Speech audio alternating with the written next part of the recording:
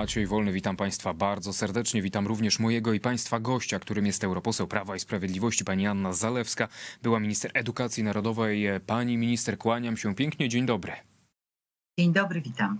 No i zacznijmy naszą rozmowę od tematu dość, dosyć głośnego w ostatnich dniach, szczególnie choć ten temat wybrzmiewa na przestrzeni ostatnich miesięcy, kilkunastu miesięcy w zasadzie. Środki z Krajowego Planu Odbudowy cały czas dla Polski blokowane. No i wszystko, mm, o czym mówi Komisja Europejska w tej sprawie, wskazuje na to, że te środki są blokowane przede wszystkim, jeżeli chodzi o pewne regulacje prawne dotyczące innymi chociażby wymiaru sprawiedliwości. No ale z drugiej strony ostatnia wypowiedź lidera Platformy Obywatelskiej Donalda Tuska sugeruje chyba coś zupełnie odmiennego, no ale o tym sobie porozmawiamy właśnie. No i jeżeli chodzi o Donalda Tuska, to on w niedzielę mm, podczas e, wystąpienia w Sopocie powiedział takie oto słowa. Składam tu w Sopocie uroczyste przyrzeczenie, że dzień po wyborach pojadę i odblokuję pieniądze z Krajowego Planu Odbudowy. I wszyscy to odczujemy. Tak mówi Donald e, Tusk. Jak pani te słowa rozumie? Jak można odczytywać tę zapowiedź Donalda Tuska? Czy odblokowanie środków z Krajowego Planu Odbudowy to jest kwestia jednej decyzji, jednego dnia. Jak to wygląda w praktyce? Donald Tusk już e, nie pierwszy raz o tym mówimy, trochę o tym zapominamy. Przypomnijmy, że kiedy e, przyjechał e, do Polski, żegnany z przedwcześnie opuszczonego fotela przewodniczącego EPP przez komisarz von der Leyen słowami wracaj jako premier, jesteś nam tutaj potrzebna, przede wszystkim Polska jest potrzebna do Federalnej Unii Europejskiej wielokrotnie już mówił, że właśnie jedzie, że właśnie będzie e, rozmawiał. E, teraz jest absolutnie jednoznaczny.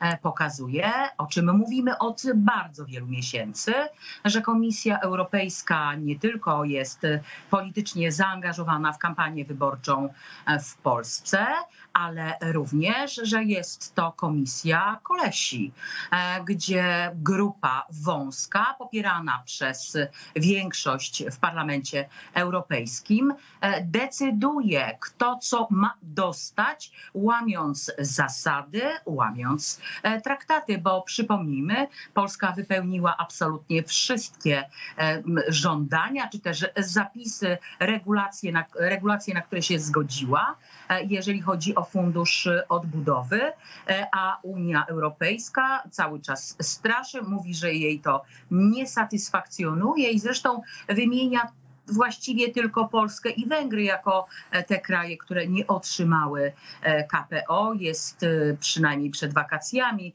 tych krajów siedem i duży kłopot Komisji Europejskiej, dlatego że z 800 miliardów euro wydatkowała raptem 150 miliardów euro na fundusz odbudowy, czas ma do 2027, żeby się rozliczyć.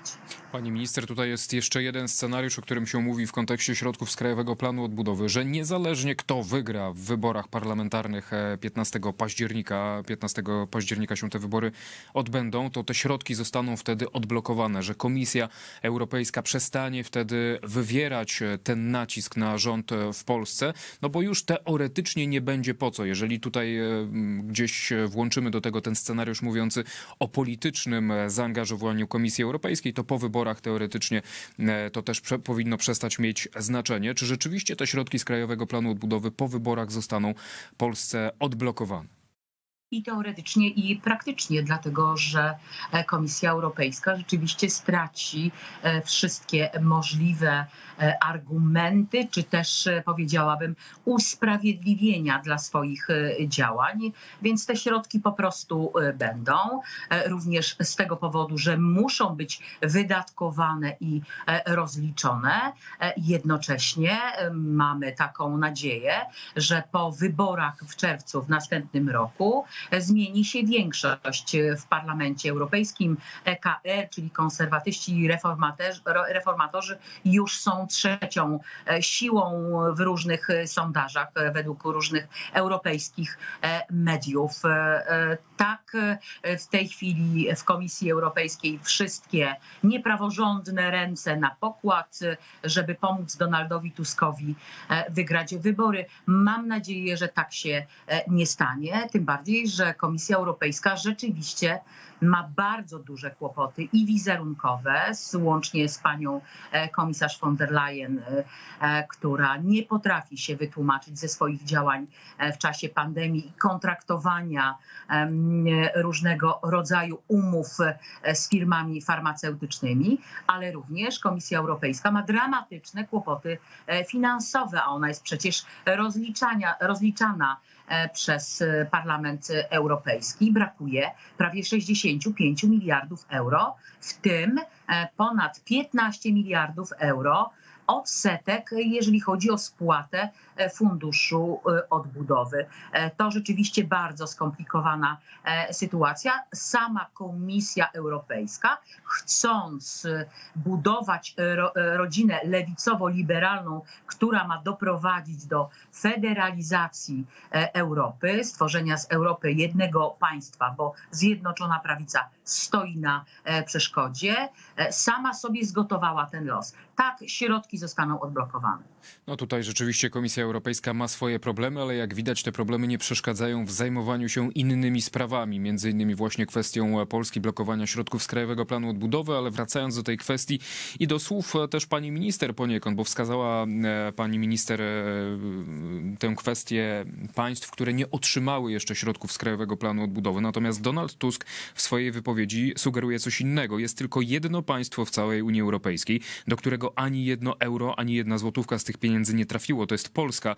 Tak podkreśla mm, Donald Tusk, szef Platformy Obywatelskiej. No i pytanie, czy to jest manipulacja, pani minister, w takim razie? Jak to wygląda? To jest e, celowe, cyniczne e, działanie. Proszę zauważyć, e, że bardzo niewiele mediów prostuje te wypowiedzi, nawet nie zadaje pytań, wiedząc, że jest to albo nieprawda, albo manipulacja, albo półprawda, albo celowe kłamstwo. Tak na tym oparta jest cała kampania wyborcza Donalda Tuska, żeby nie mrugając oczami mówić absolutnie, absolutnie dowolne kwestie. Po pierwsze, e, stawiające w złym świetle Polskę, bo nie rząd e, Prawa i Sprawiedliwości. E, po drugie, uczestnicząc w narracji, która jest również w Komisji Europejskiej, w Parlamencie Europejskim.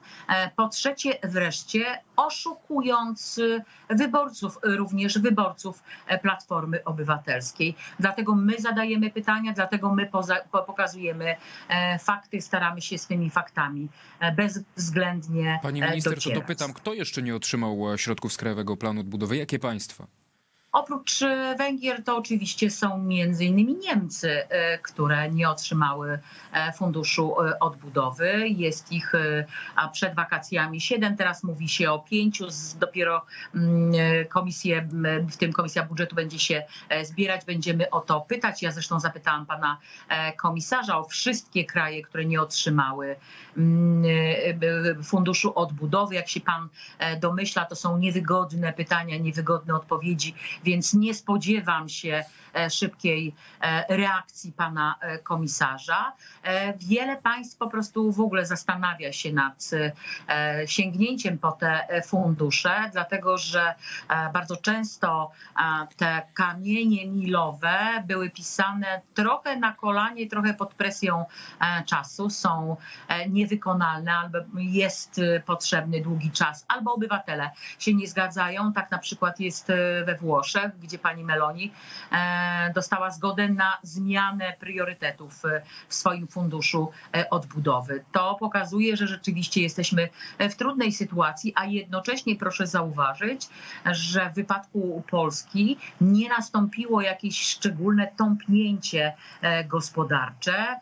Mamy dalej najwyższe wzrosty PKB i najszybszą odbudowę właśnie po pandemii, a temu był dedykowany ten fundusz e, odbudowy. Mamy e, najmniejsze zagrożenie, zagrożeniem e, ubóstwem, najniższe bezrobocie. W związku z tym te wskaźniki makroekonomiczne są bezwzględnie dobre, Oprócz tego my y, wyciągnęliśmy pieniądze budżetowe, jak to przy wszystkich funduszach y, europejskich się dzieje, żeby dokonywać tak zwanego prefinansowania, czyli wcześniejszej, e, wcześniejszego zaangażowania środków finansowych właśnie na te priorytety czy kamienie milowe, które są e, w KPO, dlatego że później otrzymamy zwroty. To kolejna kwestia, pani minister, w naszej rozmowie również dotycząca Komisji Europejskiej, no i wyborów parlamentarnych. Prawo i Sprawiedliwość zgłosiło swoich kandydatów do Komisji Weryfikacyjnej mającej zbadać wpływy rosyjskie w Polsce.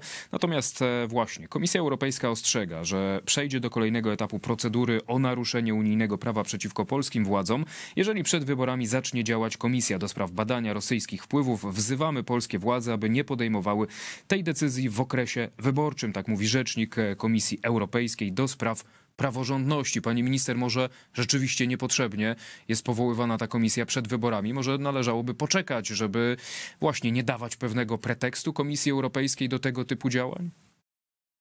Komisja Europejska sama szuka tych e, pretekstów, oczywiście e, przy współudziale albo na życzenie E, przede wszystkim e, Donalda Tuska, ale generalnie całej e, opozycji, dlatego że tutaj Lewica czy też Szymon Hołownia poprzez Róże Tun mówią absolutnie to samo. To jest ta sama grupa, tak samo myśląca, tak samo wpływająca, żądająca od swoich grup politycznych pełnego zaangażowania w kampanię wyborczą w Polsce. Wracając do komisji, proszę zauważyć, że że e, to jest e, wielomiesięczna dyskusja, wielomiesięczne negocjacje, wielomiesięczne rozmowy e, i procedura, która doprowadziła do tejże komisji. Tak, tak, ja wiem, co mówi totalna opozycja, że mieliśmy 8 lat na to, żeby mm, tych wszystkich szpiegów znajdować. Tak, znajdujemy przez 8 lat, o czym donoszą systematycznie media. Wojna jednak spowodowała, że po pierwsze, trzeba reagować e, mocniej, bo obywatele e, oczekują od nas e, tego rodzaju dyskusji publicznej. Oprócz tego, wojna spowodowała, że odkryły się najprzeróżniejsze wątki, karty, lobbingi e, Rosji e, w całej Unii Europejskiej e, i to związane z partiami politycznymi, i to związane z NGO-sami, tymi klimatycznymi, które doprowadziły zresztą do kryzysu energetycznego jeszcze przed wybuchem wojny. I wreszcie po trzecie, ta komisja, Europej- ta komisja weryfikacyjna przecież e, nie będzie dyskontynuowana. Tak byłoby z komisją śledczą, stąd taki bezpiecznik, poprawiony przecież e, też e, na życzenie również opozycji, czy też mediów z inicjatywy pana prezydenta. E, która to będzie mogła pracować po wyborach. E, nie sądzę, e, żeby oprócz powołania i takiego otwarcia tejże komisji doszło do jakichś konkretnych działań. Rzeczywiście jest kampania wyborcza. I po czwarte, proszę zauważyć, że wszystko bojkotuje e, totalna opozycja. Nie ma w związku z tym argumentów, e, e, nie dając swoich kandydatów do komisji. Przypomnijmy, nie mogą tam być politycy i zdaje się, nie są. To są eksperci.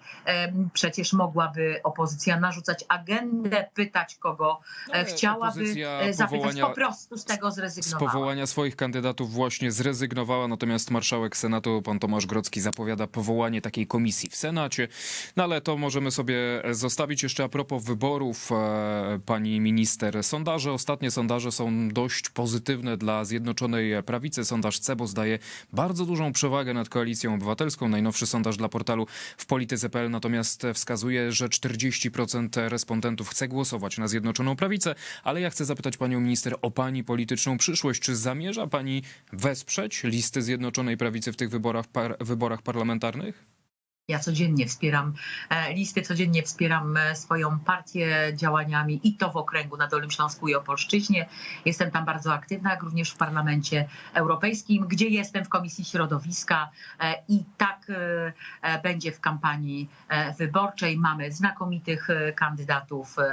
Myślę, że za moment Państwo ich zobaczą. A pani minister znajdzie się wśród tych kandydatów?